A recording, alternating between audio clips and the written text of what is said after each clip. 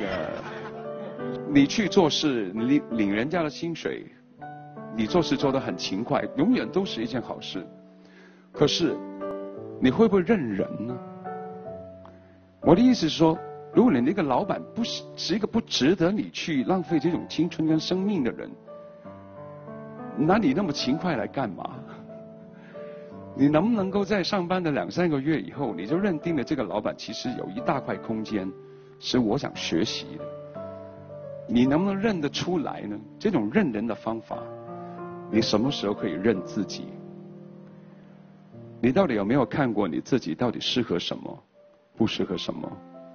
有一天，当你知道自己的长处跟短处在哪里，你其实已经迈出了成功的第一步了。对我来说，其实就是一个梦已经成真了。有人认得我了，有人知道我的声音了。可是后来，有时候安静下来的时候，想不对呀，我其实到底要写什么歌呢？